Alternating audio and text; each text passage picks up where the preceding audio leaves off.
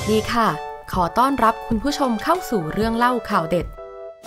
รวยกันทั่วหน้า ปปช เปิดเซฟ รักสเกชา แชร์ชาย อดีตเลขาผู้ตรวจการแผ่นดิน อูฟูนับสิบล้าน ถอยรถก่อนพ้นตำแหน่ง สำนักงานคณะกรรมการป้องกันและปราบปรามการทุจริตแห่งชาติ หรือปปช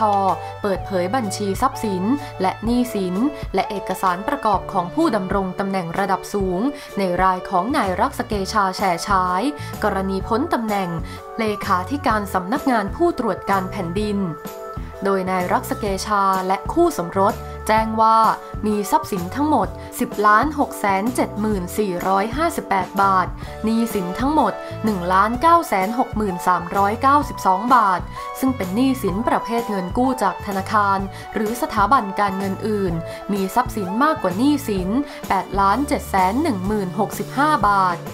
โดยทรัพย์สินส่วนใหญ่ประกอบด้วย ที่ดินหนึ่งรายการ ในพื้นที่เขตคลองสามวา กรุงเทพมหานคร มูลค่า 3 ล้านบาท เงินลงทุนรวม 2 ล้าน4 4 5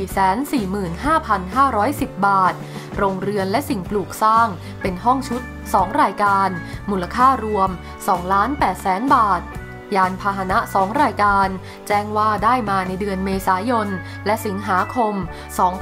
2563 มูลค่ารวม 1 1 6 8 0 0 0 บาท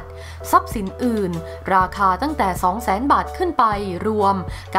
988,000 บาท อาทิ ทองรูปพรรณทองคำมูลค่ารวม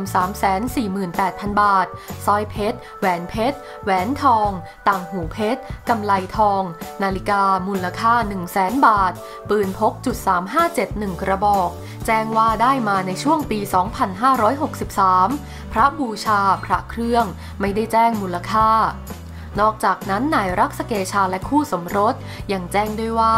มีรายได้ระหว่างการดำรงตำแหน่งรวม 17,577,721 บาท รายจ่ายรวม 15,813,621 บาท โดยรายได้ของนายรักสเกชา เป็นเงินเดือน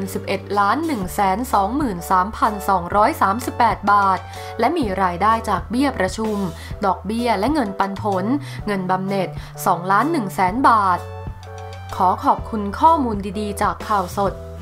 อย่าลืมกดติดตามพร้อมทั้งกดรูปกระดิ่ง เพื่อแจ้งเตือนเรื่องใหม่ๆ จะได้ไม่พลาดรายการเรื่องเล่าข่าวเด็ด ขอบคุณที่รับชม แล้วเจอกันใหม่ค่ะ